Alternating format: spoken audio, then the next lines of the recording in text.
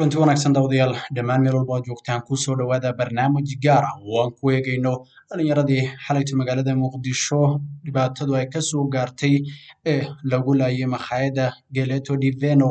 iyo weliba sidoo kaleeto waddamada caalamka oo ka hadlay turkiga ayaa si weyn arrintaas uga falceliyey sidoo kaleeto dowladda soomaaliya ayaa markii ugu horreysay dhambaal naxariiseed ka heshay waddamada carabta oo baarlamaankoodu uu si weyn u cambaareeyay weerarka ay dhalinyarada soomaaliyeed ku waxyeeloobeen waxaa dhawaaqa qaraxaasi si weyn looga maqlayay xaafadaha magaalada muqdisho ee gobolka banaadir oo aad moodo in ay muqdisho nasiib u yeelatay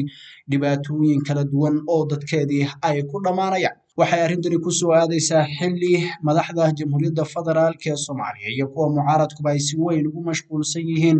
arrimaha doorashooyinka ee jamhuuriyadda federaalk ee soomaaliya haddaba bal aan eegno qaar ka mid a dhalinyaradii xalayto halkaasi ku waxyeeloobay bashiir cabdilqaadir maxamed. Ayaa waxa uu ka mid ahaa shaqaalaha safaradda soomaaliya ay ku leedahay magaalada hadisababa ee xarunta dalka ethoobiya waxaa la sheegay in uu muqdisho safar ahaan u yimid isaga oo ka soo laabtay magaalada adisababa maalintii shalayta ahayd waxa uuna baartiisa facebooka ku soo qoray markii uu soo gelayay magaalada muqdisho ama uu safarkaasi u soo baxayay in uu yahay nin wadankiisii ku soo laabtay. Waa bashiir aan idhaahdee nin dhalinyaro ah oo shahaadada koowaad ee jaamacadda ka qaatay jaamacadda simad ee magaalada muqdisho cabdirashiid tata waxaa sida u qoran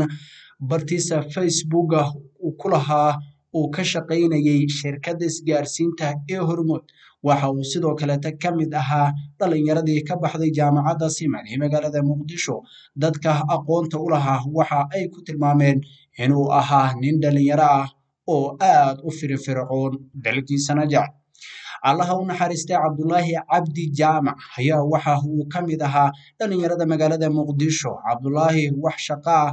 dowladeed ah ma uusan haynin ama ma uusan xilligan qabanin waxaana uu ka mid ahaa dhalinyaradaasi iskooda u shaqaysanaya ku nool magaalada muqdisho. Allaha u naxariistay cabdulaahi cabdi jaamac. Waxa uu ka mid ahaa dhalinyaradii ka qalinjabiyey jaamacadda ummadda ee magaalada muqdisho sultaan cabdulaahi cali waxa uu ka mid ahaa dadkii ku dhintay qaraxii xalayta ka dhacay magaalada muqdisho gaar ahaan hoteelka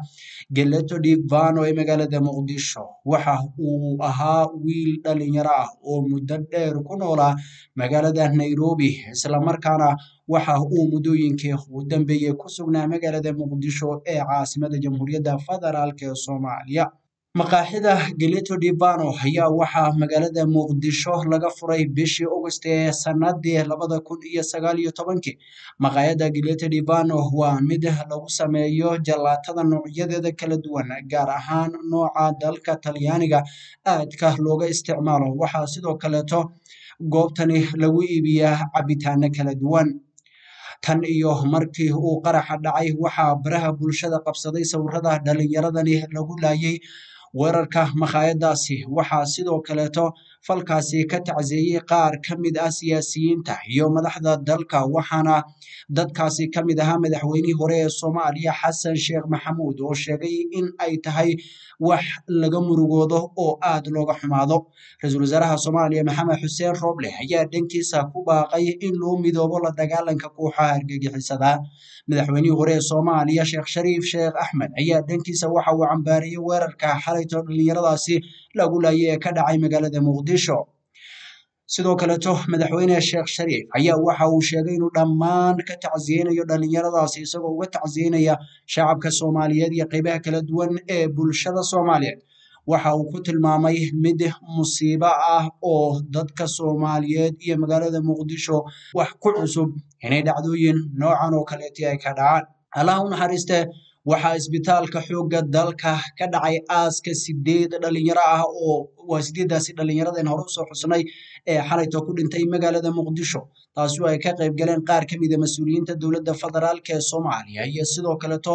dadka ehelada asxaabta iyo qeybaha kala duwan waxaana halkaasi loogu sameeyey aas qaran dowladda turkiga ayaa waxaa ka mid noqotay dowladaha sida weyn uga soo tacseeyey una cambaareeyey weerarkii xalayta ka dhacay magaalada muqdisho ee caasimada jamhuuriyadda federaalk ee soomaaliya. Wasaaradda arrimaha dibadda ee dalka turkiga ayaa waxay si adag uga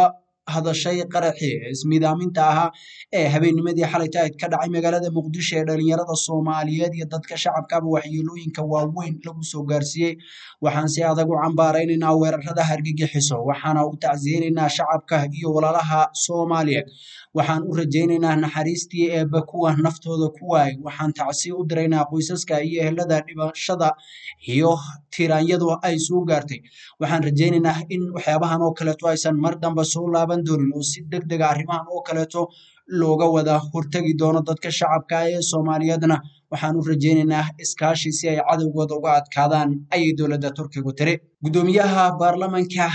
carabta al-sayid caadil cabdiraxmaan al cusmaani ayaa waxa uu cambaarayay weerarkii al-shabaab ka geysteen. Magaalada muqdisho kaasi oo ay ku waxyeeloobeen dad shacab oo soomaaliyeed oo ay qaarna dhaawacmeen. Kuwo kaleeto maanta magaalada muqdisho lagu aasayna ay ku dhinteen. Guddoomiyaha baarlamanka carabta ayaa waxa uu adkeyn weerarada al-shabaab ay la beegsanayaan dadka soomaaliyeed ee aan waxba galabsanin. Inaysan ka hor istaagi doonin jamhuuriyadda soomaaliya dadkeeda iyo weliba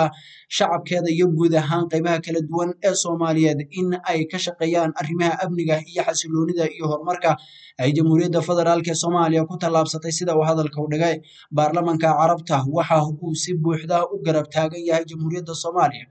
iyo shacabkeeda dagaalka ay kula jiraan argagixisada waxaana ka taageeri doonaa tallaabooyinka loogu hortagayo ururada argagixisada sida wax looga qabto xaaladda guud dadka shacabka iyo nolosha iyo kala dambeynta iyo nabadgelyadana gebi ahaanba loo soo celiyo. Wadamo kala duwan oo caalamka iyo hay'adaha beesha caalamka ee ku sugan magaalada muqdisho ayaa dhammaantood cambaareeyey weerarkaasi oo ay sheegteen kooxda al-shabaab inay iyagu ka dambeeyeen.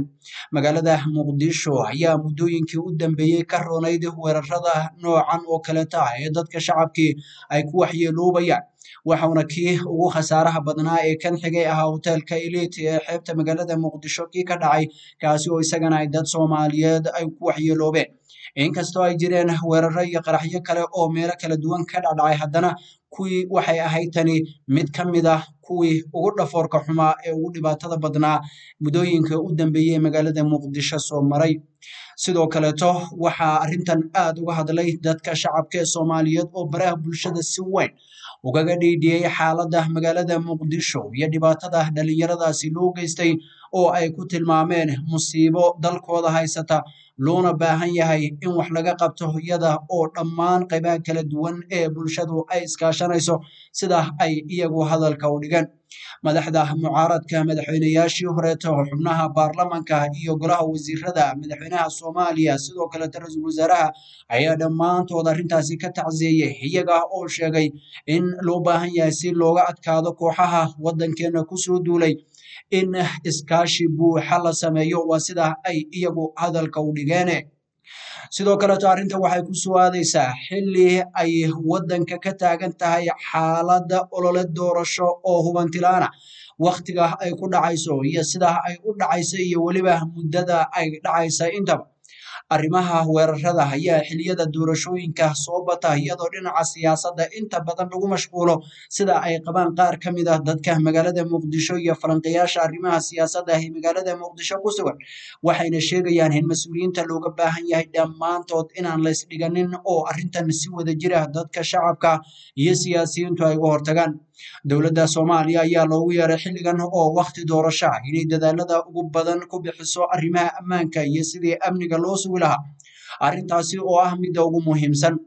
Arrintan waxay sidoo kaleto ku soo aadaysaa xilli magaalada muqdisho lagu soo gebagabeeyey toddobaadkan kulan ay lahayeen midowda musharaxiinta soomaaliya oo xubno ka mid ah musharaxiintu ay ku midaysan yihiin ayna ka soo saareen war murtiyeed qaar badan oo ka mid a dadka siyaasadda indheindheeye ay ku sheegeen in ay yihiin kuwo xaq ah oo wanaagsan halka kuwo kaletana ay sheegayaan inay yahayeen kuwo qallafsan oo xilligan aan suurtagal ahayn. Guddi doorasho oo la soo dhisay dowladda federaalk ee soomaaliyana ay sheegtay in ay ku salaysay kulamadii ka dhacay dhuusamareeb iyo sidoo kaleeto kii ugu dambeeyey ee magaalada muqdisho ee madaxda dowladda federaalk ee soomaaliya iyo dowlad goboleedyadu ay ka wada qayb galeen iyo heshiis doorasho siyaasadeed oo halkaasi lagu soo wada afmiray inkastoo madaxda mucaaradku ay mar walba arrimahaasi ka hadlayeen ayaa haddana waxaa loo arkaa in arrintani ay dhib iyo dhabarjab weyn ku noqonayso ololaha doorashada iyo nidaamka ka socda. Sidoo kaleto ra'iisul wasaare maxamed rooble oo saaray arrintiisa ugu horeysana ka dhigtay inuu arrimaha ammaanka wax ka qaban doono diiraddana saaray dhinaca ammaanka magaalada muqdishona dhagaxyadii muddada dadka shacabka ah ee magaalada muqdisho ay mari la'aayeen qaarkood furay ayaa waxaa laga doonayaa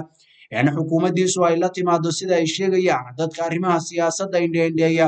in qorshe amniga dadka shacabka xilliyada doorashada oo inta badan sida uu sheegay taliyihii hore ee hay'adda nabad sugidda soomaaliya cabdiraxmaan tuuryare iyo weliba sidoo kaleeto qaar ka mida dadka arrimaha ammaanka ku xeeldheeri in loo baahan yahay in xilliga doorashada feejignaan dheeri ah la geliyo. Laakiin waxaad moodaa dhammaan dadka soomaaliyeed iyo siyaasiyiinta in badan oo ka midaba in ay keliya madax martay hoggaanka laakiin dadkii la hoggaamin lahaa ee shacabka ahaa iyo sidoo kaleeto waddankiiba ay dhibaatooyin kala duwan ku socdaan oo loo baahan yahay in dhammaantood iskaashi buuxa dadka soomaaliyeed ay arrimahaasi ka yeeshaan si wax looga qabto waxyaabahaasi iyo kuwo kaleeto oo imaan kara intaba. Sidoo kaleeto waddanka soomaaliya ayaa dadka arrimaha siyaasadda gudaha dalka indheedheeya sheegayaan inuu culays ku soo wajahan yahay haddii madaxda siyaasadeed ee dalka xilligan ka jirta aysan isku tashi intay sameeyaan. Aysan waxyaabaha jira hoos u dhammaynin sidoo kaletana doorasho wadar ogolah aysan waddanka ka dhicin taasi oo ah waxa ugu muhiimsan oo dadka soomaaliyeed xilligan ay doonayaan dhegtana u taagayaan kana wada dhursugayaan iyadoo magaalada muqdisho ay ku sii qulqulayaan dadka u luulamaya ama u ordaya hoggaanka dowladda federaalk ee soomaaliya ayaa sidoo kaleeto haddana waxaa jira baaqyada isa soo taraya ee la xiriira arrimaha doorashooyinka. Waxaa jira beesha caalamka qaar hadallada mucaaradka ayidaya inkasta oo aad mooddo intooda badan in ay xilligan ka aamusan yihiin maadaama dowladda federaalk ee soomaaliya ay sheegayso in guddiga ay soo saareen ay yihiin kuwo ka turjimaya heshiiskii siyaasadeed ee arrimaha doorashada ee magaalada muqdisho dhowaan lagu wada gaaray. Guud ahaan daawadayaal intaa waxaan xilligan ku soo gabagabeynaynaa barnaamij kooban oo aan uga hadlaynay qaraxii xalayto iyo dhallinyaradii. Maanta lagu aasay magaalada muqdisho ee qaraxaasi ku waxyeeloobay iyo waddamadii arrintaasi ka soo tacseeyey iyo weliba madaxda soomaaliyeed ee arrimahaasi ka soo tacseeyey intaba. Tan iyo kan mid lamida intaan ku kulmi doono balanteenu wabble down meeting